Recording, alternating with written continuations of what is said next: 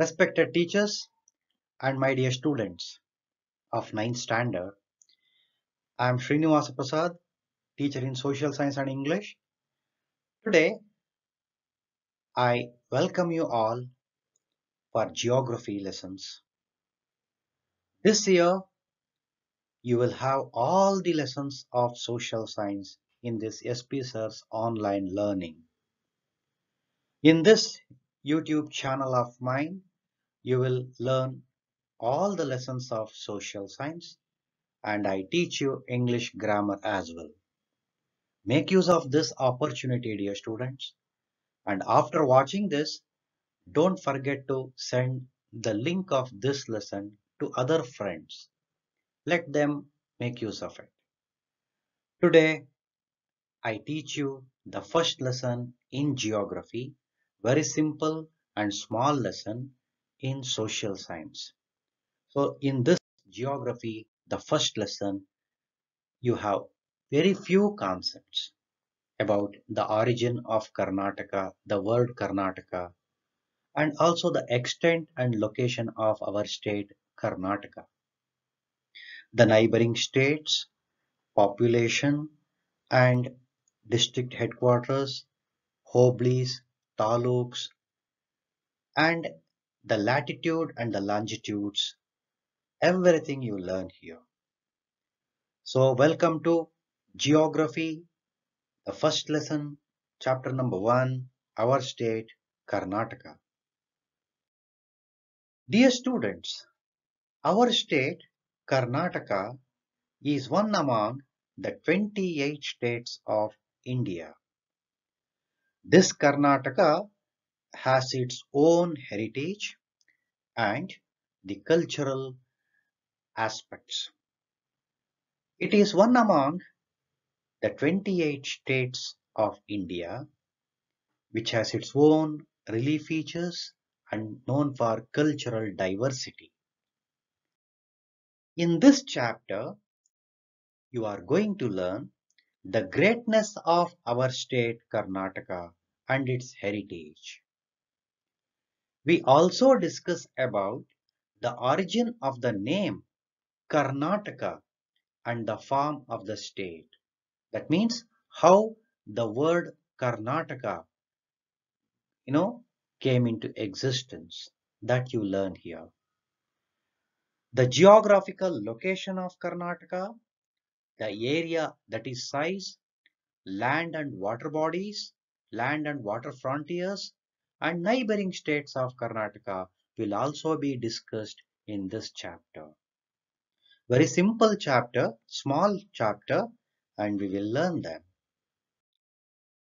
Our state, Karnataka. This state is a land of Kannadigas. We speak Kannada as our mother tongue.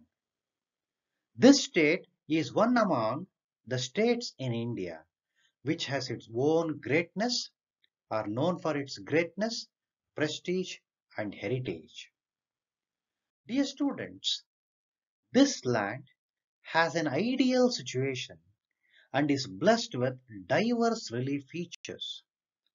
It has its own flora and fauna. Flora means the vegetation. Fauna means animal life. It has its own relief features, different variety of soils, river system and different uh, set of people. So let us learn in detail about this. Many places in Karnataka are famous for their world heritage. For example, Beluru, Halebeedu, Badami, Pattadakallu, Shravanabelagola, Mysuru and the list goes on. Most of these places are known for their natural beauty and abundance wildlife. This abundance wildlife can be seen in Bandipura, Nagarahole and Bannerghatta forests and also in few areas of Western Ghats. So let us know in detail about our state Karnataka. How did this state get its name? The name Karnataka has been in use right from beginning. Right from ancient times, the word Karnataka has been in use. And we have evidence for it. We have source for it. The word Karunadu is from Kar plus Nadu. Kar here the black. So the land of black soil. Nadu means the area, the state. So the land of the state of black soil. Karnataka is nothing but land of black soil. That is the meaning of Karunadu. So from the word Karunadu, Karnataka has come from. The word Karnat refers to Karnataka and it is been mentioned in ancient Tamil scripture Shilappadikaram. Shilappadikaram, it's an ancient Tamil scripture where Karnat is mentioned. Then what does it actually mean? Karnat means elevated plateau. That means the elevated area from the sea level. This Karnataka is situated in an elevated plain, elevated plateau from the sea level. So this you need to keep in mind. And this Karnataka, earlier it was extended from river Kaveri in the south up to river Godavari in the north in this peninsular plateau. From the river Kaveri in the south to river Godavari in the north in this peninsular plateau. And what is the source for it? What is the source to say this? Dear students, there is a source for this. What is that? See now I am showing you that in the Indian map in the peninsular plateau two arrow marks are shown. One is river Kaveri in the south, the other one is river Godavari in the north of this peninsular plateau. In between this area, Kannadigas were living. Karnataka was in existence. That is what is proved in Nripatunga's grammatical work Kavirajamarga. Kavirajamarga was written by Amoghavarsha Nripatunga. This Amoghavarsha Nripatunga in his work Kavirajamarga has very clearly mentioned that the land of Karnataka it was extended the land of Karnataka was extended from river Kaveri in the south to the river Godavari in the north. Dear students, after the independence, India was divided into many states. Today we have 28 states. Our Mysore state was one among when India was divided into number of states. In the year 1947, the southern districts which were till then under the rule of Mysore Wadayas were brought together to form Mysore state. So Mysore state was formed and it was officially recognized as per the State Reorganization Committee headed by Fazal Ali in the year 1956. Later, when the states were recognized on linguistic basis, that is on language basis, all Kannada speaking areas were all, you know, brought together. Some Kannada speaking areas from Bombay province, some from Hyderabad province, some from Madras and Kodagu provinces all were brought together and Karnataka was formed. And later, on 1st November 1956, Vishala Mysore state was formed. Vishala Mysore state came into being on 1st November 1956. That is why we celebrate Kannada Rajyotsava on every 1st November. Dear students, this Karnataka has its own flag and today we have about 31 districts and 4 administrative divisions and we have our own logo emblem. Karnataka is one of the 28 states of India. It is situated in the western central area of peninsular region. Dear students, this is very important. Where is Karnataka situated in India? Karnataka is situated in the southern part of India, okay, and western Karnataka is there in the western part and central area, western central area of peninsular region.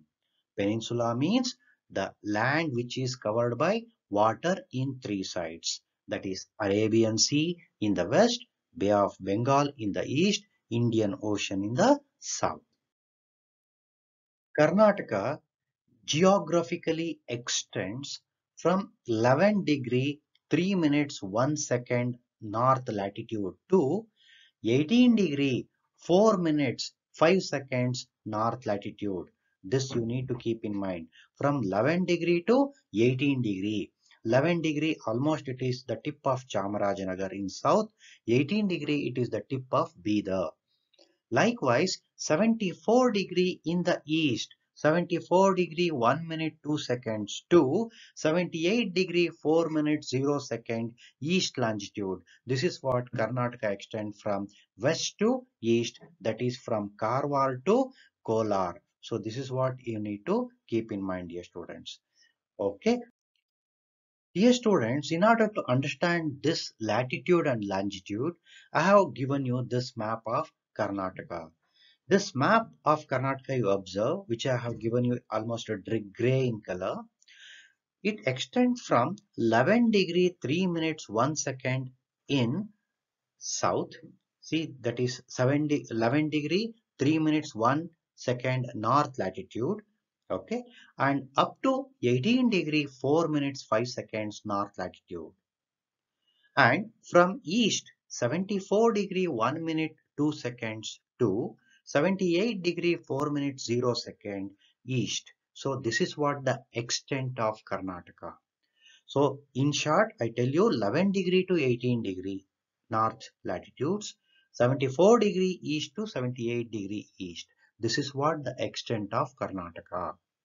That means 11 degree means the tip of Chamarajanagar. 18 degree means the tip of Bidar. 74 degree means it is at Karwar and 78 degree means it is Mulbaglu, uh, the one of the taluks of uh, Kolar district. So within this we have our state Karnataka. Hope very clearly you have understood this. Now I'll take you to the next concept. Karnataka's total length from north to south is 750 kilometers.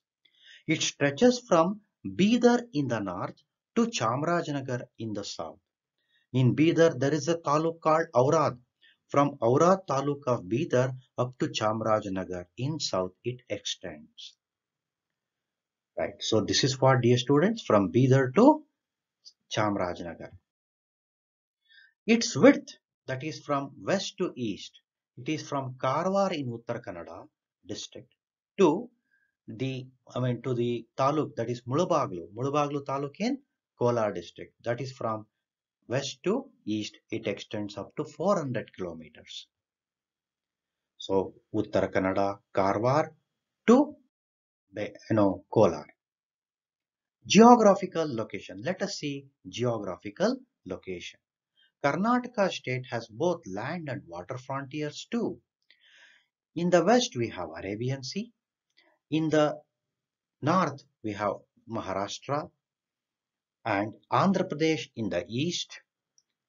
Tamil Nadu in the south and southeast. Kerala in the southwest. And Goa in the northwest. But there is a newly state, you know, formed that is Telangana, right? Telangana it is to the northeast of Karnataka. It extends almost north and northeast. So all these are the different or neighboring states of Karnataka. This you will have to have the knowledge with the map.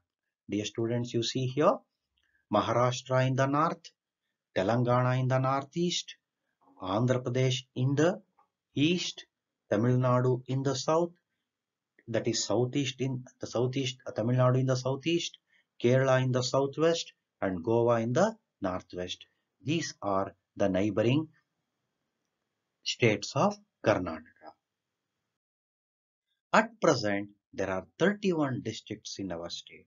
Dear students, in textbook, uh, it was uh, printed earlier. So before the formation of new district of Karnataka, that is Vijayanagara. But including Vijayanagara, we have 31 districts. These districts comprises about 240 taluks, 747 hoblies, 347 towns and to 27,481 villages. So this statistics also you should know very well. Among them, among the uh, you know 31 districts, Belagavi district is the largest district. Belagavi is the largest in size and our Bengaluru urban is the smallest. So you know very well Bengaluru is the capital of Karnataka. So this shape of Karnataka, if you see, it looks like cashew nut. Karnataka stretches over an area of 1,91,791 square kilometer. Okay, dear students, this is the area, total area in square kilometer that is 1,91,791 square kilometer. It is India's eighth largest state with regard to the area. So that 1,91,000 whatever you studied that is with, with respect to the area it is eighth largest state. And it is according to the census of 2011 Karnataka is the ninth it is in the ninth position with its population right in population it is the ninth and in area it is the eighth the population as per 2011 census, you know, it was 6 crore 11 lakh 30,000 and 704. That is what population. Karnataka with uh, 1 lakh 91,000 and odd area, it occupies two, I mean, it occupies 5.83% of India's geographical area. This state has been divided into four divisions for the administrative purpose. They are Bengaluru, Mysuru, Belagavi and Kalburgi. These are the four administrative divisions of our state Karnataka. Yes students, I have covered all the topics of first lesson in geography and from today onwards at least one or two lessons every week I am going to present before you. Watch this and pass it on to your friends. You send the link to your friends of 9th standard. Let them make use of it. Okay, dear students, shall we go for exercises? Yes, dear students, there are five fill in the blanks given in the textbook. You need to answer them. Hope you will answer it and uh, comment me, right, report it to me right in the comment section Yes, I am eagerly waiting for your responses. Apart from this, there are four question answers given in the textbook. Keep a notebook for this and write all those. They are all available even in the textbook. Dear students, I wish you all the best. Thank you and keep watching all the lessons of 9th standard social science. Thank you dear teachers. Bye.